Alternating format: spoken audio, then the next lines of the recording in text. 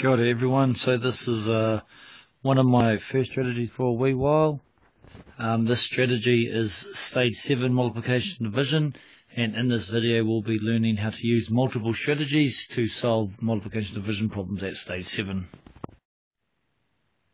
Okay, so if we take a problem like 72 divided by 4, um, we can see that it requires us to use multiple strategies to solve it.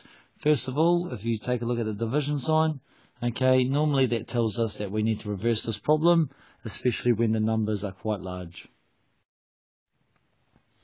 Okay, so what we do when we reverse it, okay, we start with the smallest number, okay, and then we just call it add times square equals, which is the part in the middle, um, and then we end with the largest number. This will give us an equation that makes sense. It's also one of the equations in the family of facts. So 72 divided by 4 reversed is equal to 4 times something is equal to 72. Okay, now we can revert back to our stage 6 strategies to solve these ones.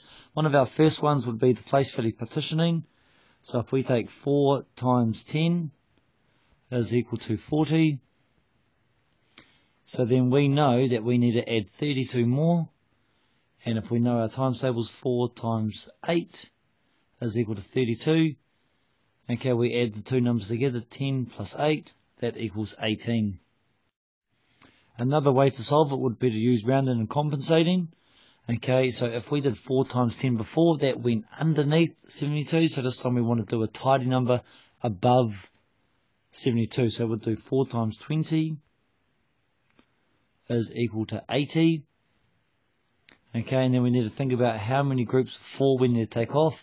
So there's so I'll take the 80. So there's 8 we need to take off. So 4 times 2 is equal to 8. 72 plus 8 is equal to 80.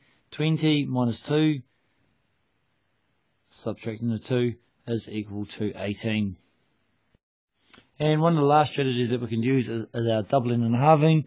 Okay, if we know our basic facts, um, we may not know 4 times something is equal to 72, but we may know that 8 times 9 is equal to 72. Okay, so if we look at the patterns, if we halve, divide by 2 there, just like our normal doubling and halving, we must do the opposite to the other side. So we must do 9 times 2, which is equal to 18. Okay, and that was stage 7 um, multiple strategies. You can see that we've used doubling and halving there. We use rounding and compensating in this one. We use place value partitioning and we use reversibility to solve these problems for stage 7. Thank you for watching.